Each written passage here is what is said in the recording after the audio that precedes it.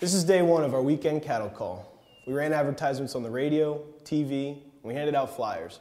Tim spearheaded the whole thing. He's done a great job. We're expecting a lot of people. My buddy, he owns a copying store. So he gave me all the leftover paper to make all the flyers. I'm very resourceful. That's why the ladies like me. I went one full year without spending a dime on toiletries. You know, some of the best toiletries in the world, they're for free. How did I get all these people to come here? I put on the flyer that a major TV personality was going to show up. Who'd I get? No one. I lied. Well, this is it. The host for our fishing show may be standing in that line right now. Who's ready to be the next host of our fishing show?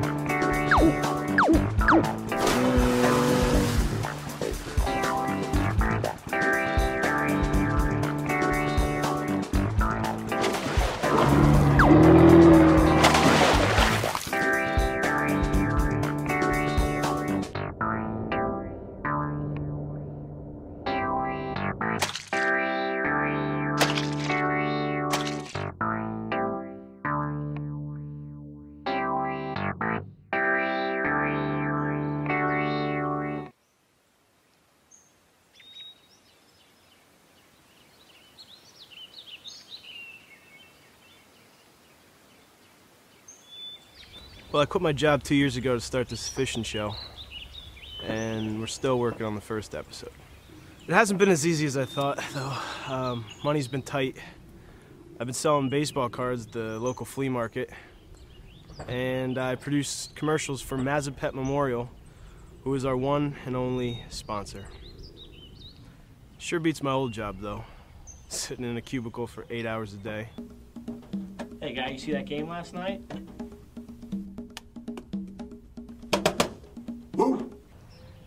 Witty emails, Hey, see that Hasselhoff video? holiday parties, Judy's card is in the folder. You owe me 20 bucks. meetings about meetings. Pack up your stuff, get your key, and get out of here. Yeah, I'm not missing that too much. On my last day there, we had a town hall meeting about what we wanted more regular or vanilla coffee creamers. We voted 45 to 20 in favor of regular. Guess they just weren't ready for that type of change. Why haven't we produced a show in two years? Well, that's a good question. I'm not really sure why. I mean, we have a good crew. We've just been having some problems finding a host.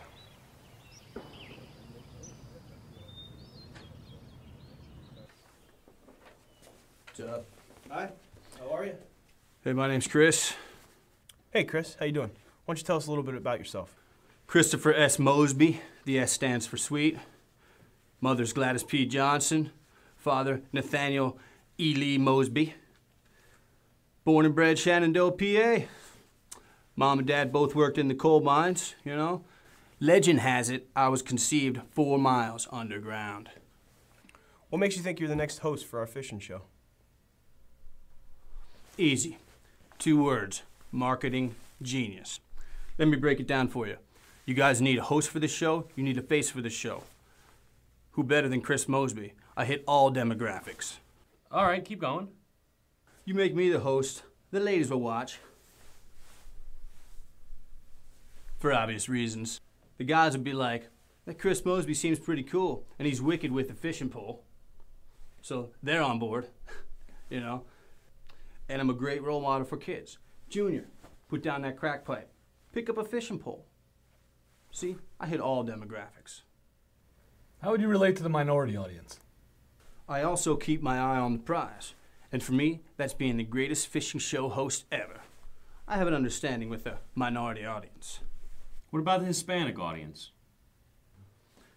Me llamo El Fishing. Te gusta es Chris Mosby.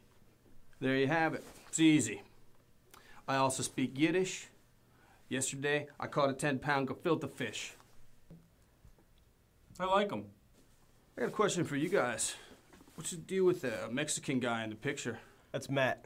He's our camera guy. Couldn't be here today, he had to work. But he's with us in spirit. Touche.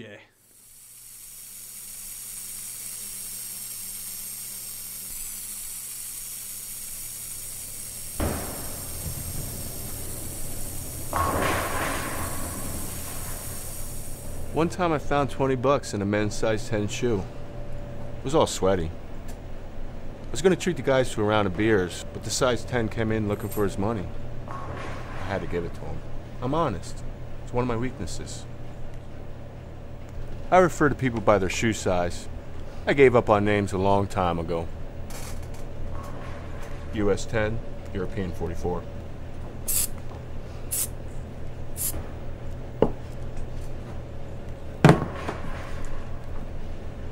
Hey, mister, these shoes are too big.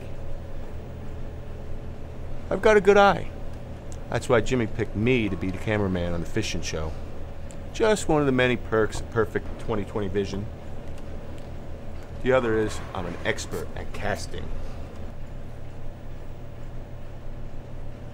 I've been working here for three years now. It's okay. I find things to pass the time. You know, practice for the show.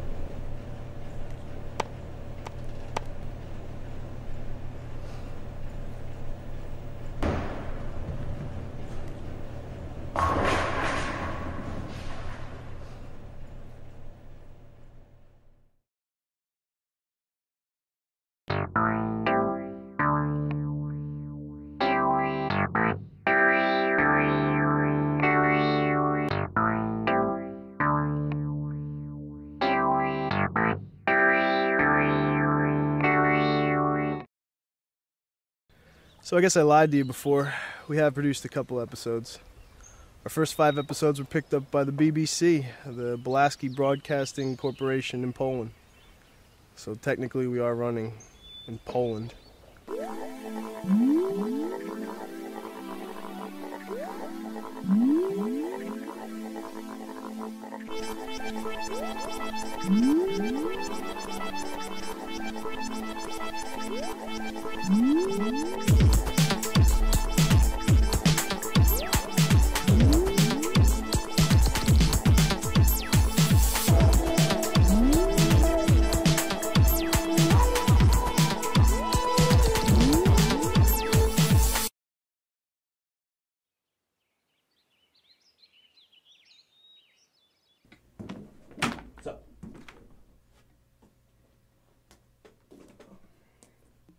Hi, how are you?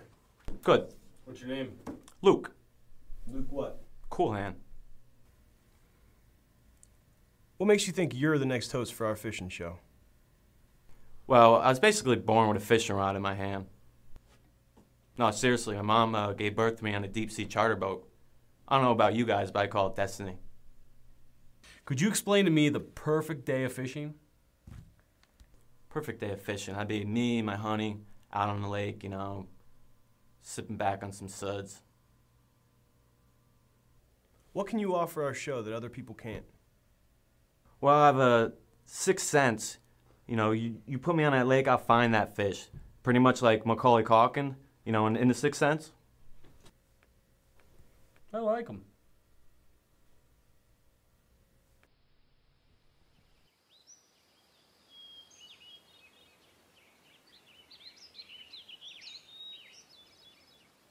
This, this is it. This is where the show comes alive. Episode 4, our host at the time caught a yellowfin tuna. 20, 20, 26 and a half pounds big. And he beat the heck out of it with this here club. Ride gear. Found this beauty at a government auction. Apparently, black market restaurant was using it to kill dinner. You know how rare this is? It's like finding one of them German Lugers. But the host had to get rid of him. Too violent. Buddha knife. Yeah, I know Blasky Broadcasting's busting on us. But it sure as heck beats my other job, working in the steel yard all day for six bucks an hour, breaking my back. That line of work, it ain't good for anybody. Rumor has it 1300s, slayed dragons. Besides, there's more prestige in this TV show gig. I go to parties, I tell chicks. I'm the prop master on a TV show. I pick up one out of 30. More action than I got before I started this show. Antique fishing rod. After all, I'm the prop master for the show. I buy all the props. Auctions, flea markets, garage sales. I mean, look at all this stuff.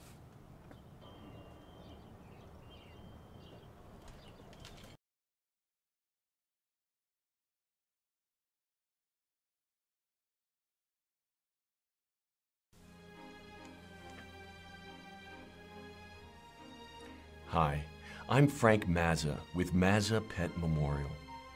Have you lost a four legged loved one? Well, I have too, and I want you to know that I'm here to help. My love for animals runs deep. That's why Mazza Pet Memorial offers the latest in dignified memorial for your fuzzy little loved one. From burial to taxidermy, we cover all types of pet memorials to ensure you and your pet's relationship lasts beyond the afterlife. Give us a call or check us out online and take it from Fluffy or Peaches. Mazza Pet Memorial is here for all your pet memorial needs. Cut. How was that take? Huh? How's the hair looking? That's good, Frank. Let's keep that take. Well, I'm the executive producer of the show. Jimmy, he used to work with me when he was in high school. The guys, they helped me out with my ad campaigns for Mazza Pet Memorial. Yeah, and I love helping out. I mean, this is great. Now, I know once we get a host, though, it's really going to pay off. And the guys, they've been good to me. And it's a great way to promote my business, Mazza Pet Memorial. Yeah, I used to work for Frank in high school. Um, Frank, uh, Frank used to buy us beer when we were underage. He was that guy. Um, we'd keep him around just for that reason. Um, you know, the thing is, though, he'd want to stick around after he'd buy us the beer. He'd want to stick around and drink with us, and but he does do a hell of a De Niro impersonation. Look at this guy. Huh? You and me. You and me. We're going places. That we are. Hey, Jimmy. Jimmy, hold on, honey. Jimmy, I got a question about the script. Sure. What's up, Frank? Well, here's what I'm thinking. We do the same exact commercial, but with a Spanish accent. Why a Spanish accent? Well, here's how I look at it. The Latin community is 40% of my clients. And as we know, Latinos are very passionate about their pets. Yeah, but do you really think they're gonna like you doing a Spanish accent? Yes. All right, let's do a Spanish accent. Nice. Now hit me with that bronzer.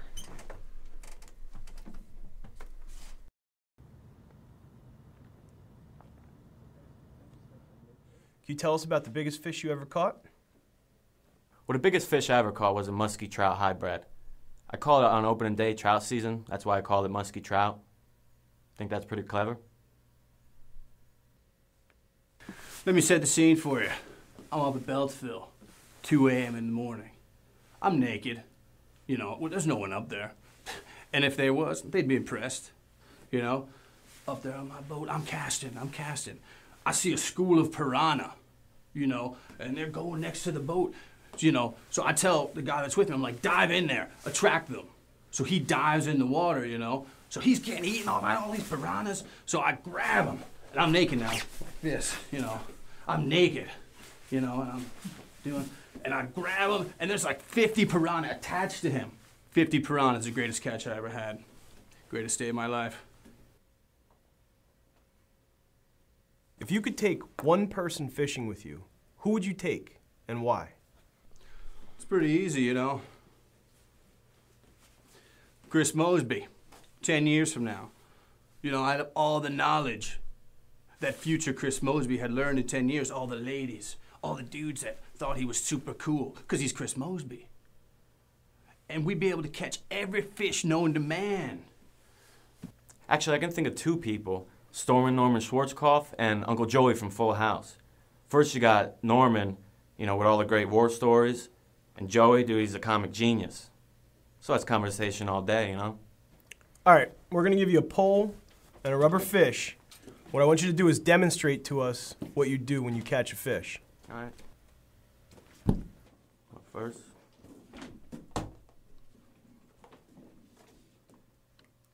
I always go, fish on!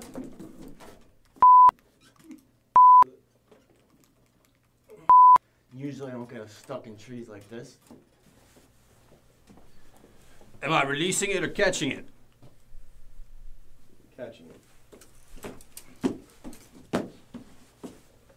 All right, um, try releasing it. Don't need to release it, it goes on its own. I'm Chris Mosby.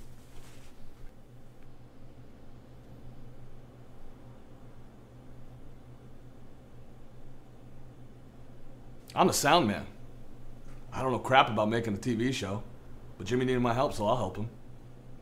Qualifications? Music. I can name any song on the radio anytime. I like fishing too, and I really dislike my current job. I work in a battery factory. I dip steel plates into acid baths all day. My typical day on the job.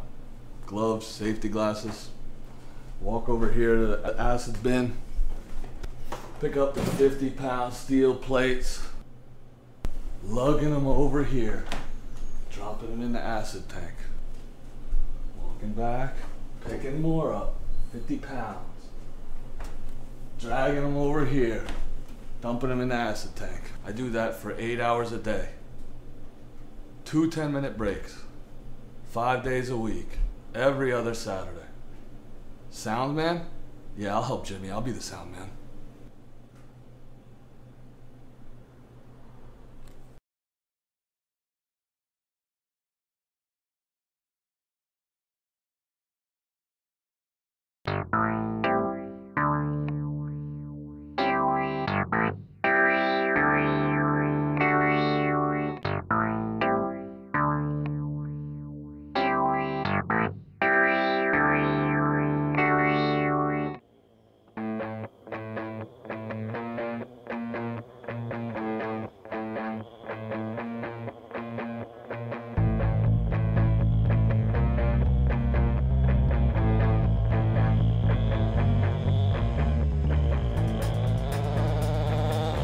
Fishing is a competition.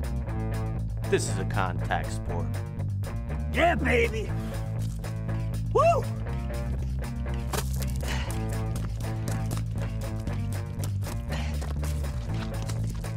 Yeah. Give me some bass. The way I look at it, Woo! that fish is standing between me and my pride and a possible paycheck. Don't look at me like I'm crazy.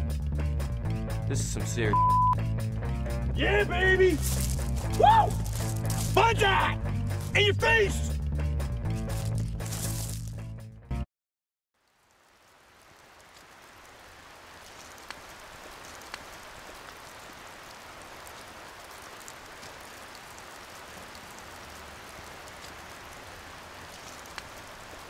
Yeah, my mom told me I was the best looking of the cousins, so I should get into acting. And uh, I love fishing, so when I saw the flyers for the fishing show, I said, let's give it a shot, you know.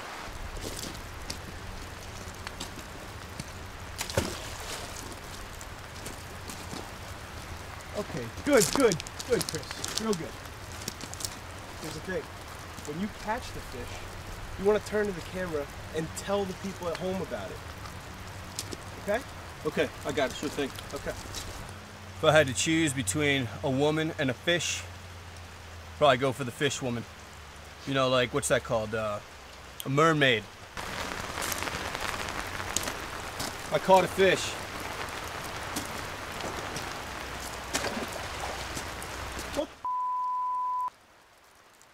Cut, cut, cut. That was good, Chris. Real good, real good.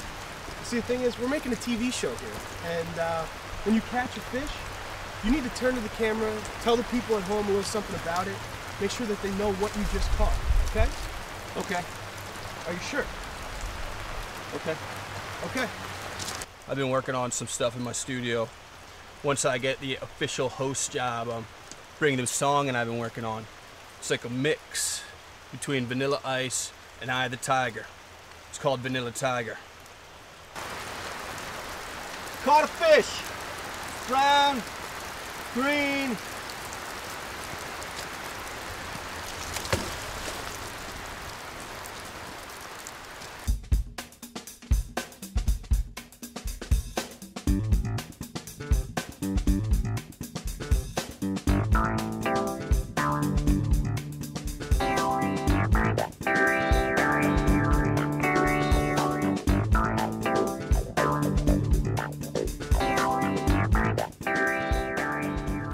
Why are we doing this?